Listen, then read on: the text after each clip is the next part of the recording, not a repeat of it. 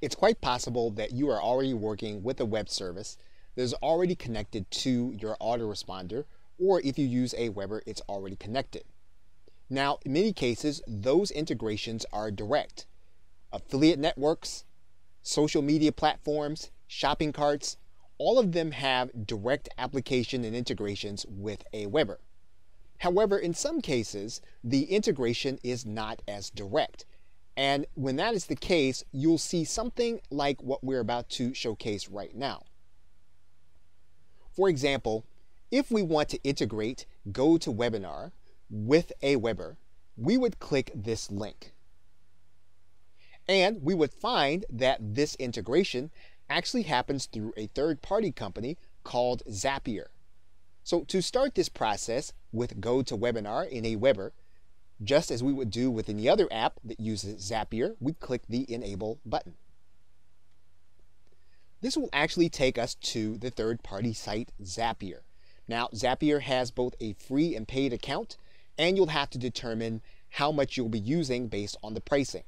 But you'll be able to see the potential integrations with GoToWebinar as well as Aweber. For example, you can add GoToWebinar registrants to an Aweber mailing list. So in other words, someone signs up for your webinar, they get automatically added to your Aweber list. Someone signs up to your Aweber list, they get automatically added to your GoToWebinar. So you'll have to choose the integration that you actually want, and then you'll need to get started with Zapier. And in this particular case, Zapier says you'll need a GoToWebinar account active and an Aweber account. That's going to be the case with any integration you do. You're going to need access to the services that you're going to want to integrate. In this case, we're working with GoToWebinar and Aweber. We're going to click Create this Zap. Now, GoToWebinar and Aweber require a premium trigger. So at some point in your process, you are going to have to pay Zapier in order to have this trigger happen. But we're going to click Continue. Now Zapier is going to require that we log in to GoToWebinar. Now we'll come back to Zapier once we've logged in and we're going to click continue. Now you're going to have access to the account that you are now logged into or you can connect a different GoToWebinar account. You want to click the test button to make sure that your account is actually working with Zapier. So go ahead and click the test button. You want to make sure that you have the green success button and then you'll click save and continue. You'll then select a webinar and then click Continue. You'll then want to click Fetch and Continue. Once you click your test and you'll see that it's successful, you can then click Continue. So the Aweber action is going to be to create a subscriber. We're going to click Continue.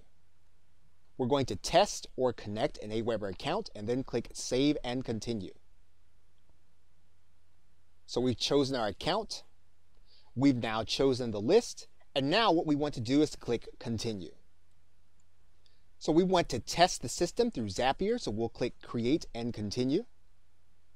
We've actually already added this email to the list. So we'll skip the rest of the test and then click continue. And because this is a premium service, Zapier is going to look for a payment at this point. You can pay monthly or you can pay annually or choose to upgrade your account in order to continue with the integration. Now, this integration is premium through Zapier. In some cases, your integration will be direct.